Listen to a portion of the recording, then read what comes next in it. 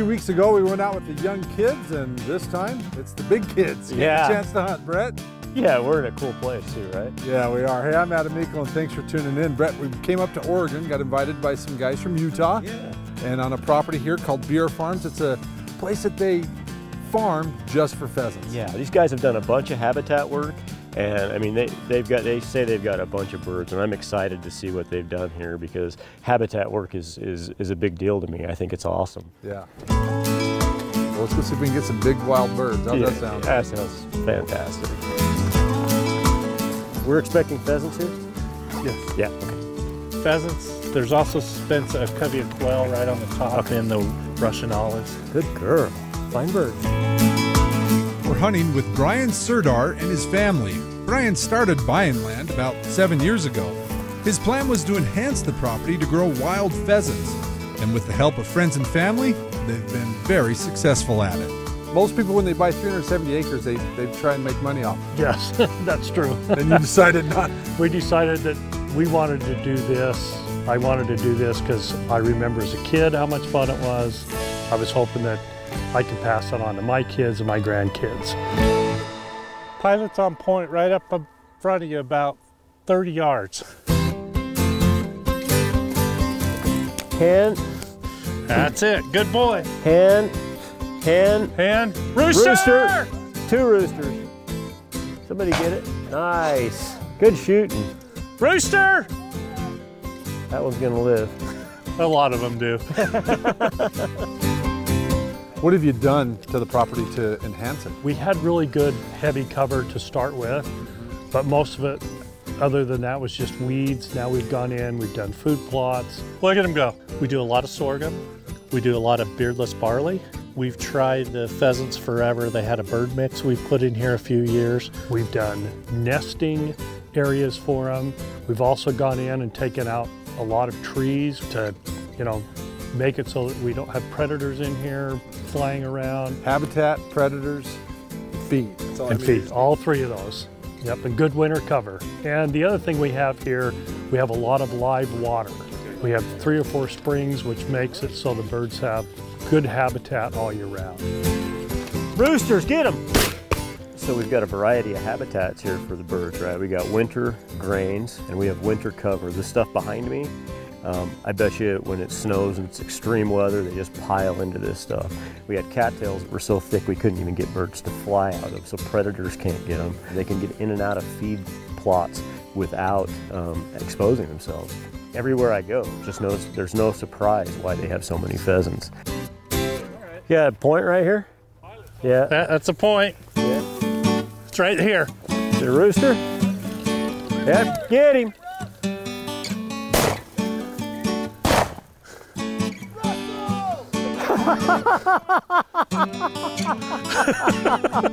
The guys that have hunted with us today, they they all come up and donate their time. Like they Russ and Jimmy, they'll they'll move fences. Russ does a lot of the planting. Oh, the show's gonna start with that one.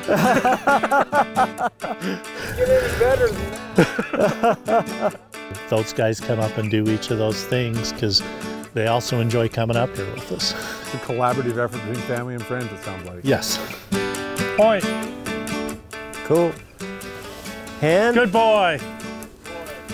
Why can't they ever be roosters, right? Uh, I, I'd shoot Jared. running right there, right there. Get him, Adam. Yeah, good shot. Yeah, Adam got it. Come here, Sonny. Good girl. No, no, good girl. I know. Good girl. I know. Good girl, Sonny. Golden BB, as Brett likes to call it. That's one. We got one more. Fun. So we're gonna work through here. We've got blockers set out on the side. We'll just work our way around, wiggles up, and then once we hit the road, then we should find some birds. Okay. Push Okay. them to the end, huh? Yep. You had told me before we came up how thick it is here. I didn't really quite, it's pretty thick. I was on my hands and knees a couple times. There was. Yeah, it's thick stuff, but that's good habitat. yeah, and we try to put, you know, thinner stuff in here too. And the beauty of this place is it It's it's not great farming land, so it makes it good bird land. Yeah, she's on point. So she's probably right there in front of you. So stay stay alert. There goes the quail. Holy quail, quail. Shoot him. Good girl. Thanks, Carl. Let's find some birds. There's birds in here.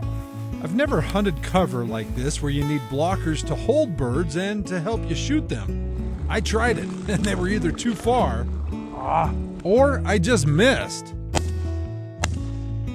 These wild roosters are killing my confidence. These are hard birds. Uh, there's both a lot of young of the year birds here, and there's older birds, and a lot of times you'll see birds together in groups. A lot of eyes make it hard to sneak up on them. She's right here on point, I think. Be ready right here. They are always trying to get away. I tell friends they'll run till you stop them. We always just hope a few of them hunker down, and maybe we can get a couple of them. There it is. You get it? Good girl. Good girl. Good girl, Sonny. Good girl. Look at that big bird. That really nice big wild pheasant. That's awesome. That's the best bird of the trip for me. We finally had a point and I flushed it and I was able to shoot it and it was awesome. Look at the tail on that thing. It's by far the best cover I've hunted in an awful long time. Yeah, some of those cattail bottoms that we hit yesterday were um, unbelievable. Bird in there? She went back on point. Yeah. Seek, Sonny, seek. I mean, Jim had that bird in his hand, right? It- Yeah. yeah, I mean, just crazy. You could hear him running through it, but you couldn't do anything about it. Yeah, she's got a dead bird. No, it's alive. It's a rooster. She's, it's alive. Sonny's got it. She won't bite you. Should I let her get it or should I grab it? You can grab it. It's a rooster. I think. Yeah, it is. Oh, get it. Uh-oh. Nice job. that bird was tucked in there. Holy cow, it was. She was trying to grab it the whole time. We're gonna need the dog to find it because it is a jungle. It is really thick. Good girl, Sonny. We tried releasing her, she would Right. not release. That's a nice long tail feathered bird, too. It's just unbelievable. But the fact that they can get away from us means they can get away from other predators, too, right? So I think that's pretty cool. This is crazy, huh? Rooster! Nice, Brad! Holy cow, that thing held. They're making us earn it. Wild birds. Yep. Sucks, dude. But it's better to get them out now. It is. Well, our last hunt of the two day trip is starting off a little sticky.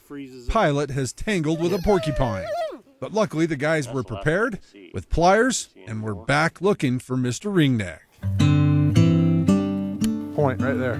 Okay, are you in position? Because he's pretty solid on this one. He never was, went right there. I can see it.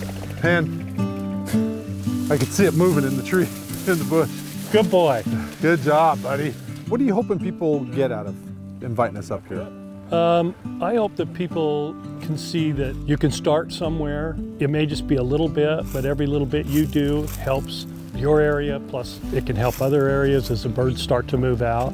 You know, just that people have the idea that, gosh, maybe I can't do a great big thing, but I can do something small.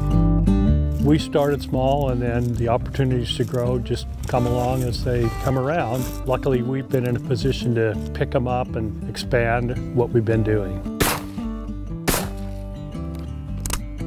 Did you happen to get that? I got you shooting. It's a double.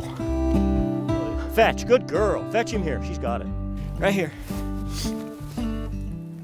Good girl. A little bit different than the quail we shot last time, but beautiful, just the same, right? Look at the scaling up in here. A little comma top. I don't get to shoot a lot of quail, so this is big to me. I like this. Having the right habitat has made the difference for the Sirdar family. So, can it work for us back home in Utah? We may find out on some of our northern Utah public lands. Pheasant Forever and Sportsmen for Fish and Wildlife have helped fund a position for a habitat specialist for the northern Utah waterfowl management areas. His job will be to improve the habitat for upland game birds on our public WMAs.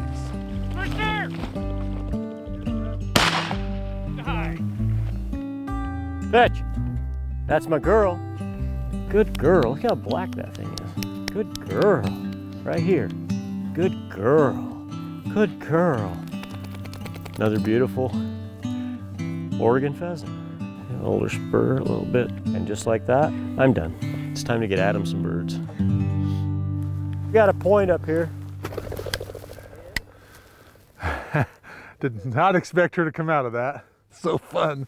Oh, I can see him running in front of us. I saw him running in front of us. Oh, it's a bunny rabbit. Never mind. Finally. All I keep seeing are hands. Oh. That was gonna die too. I have been, uh... Oh, I'm out.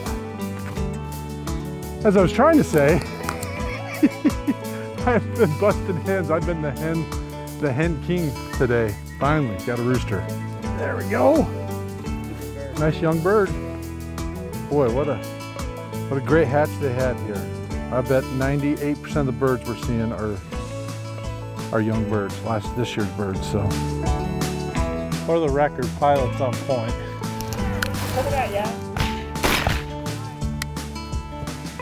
How come you didn't catch that one? you should have caught it. Holy cow, that was a suicide rooster there. I'm done. I got two, I'm done. We're all living it out. Look at that. Another young bird. Yeah, Boy, that's got some tail feathers. Young bird, but look at the tail. Look how healthy that is. That is crazy. That was fun.